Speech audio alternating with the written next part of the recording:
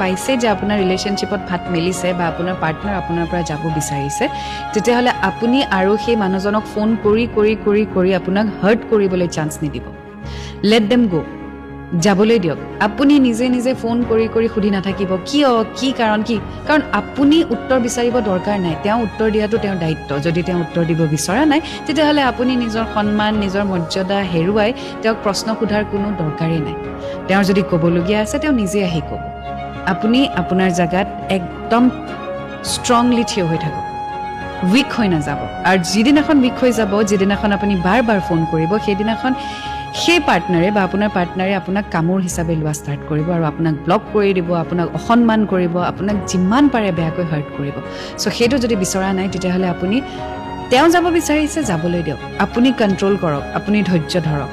তেওঁ উত্তৰ দিব আপোনাক যে তেওঁ কিয় আঁতৰিছে। আৰু যদি উত্তৰ নিদিয়ে আৰু যদি ঘূৰি নাহে তেতিয়াহ'লে গম পাবই যে this was never going to happen anyway so' যদি শেষ হ'বলগীয়া আছে তেতিয়াহ'লে যি প্ৰকাৰেৰেই নহওক শেষ হ'বই। লাগি থাকি লাভ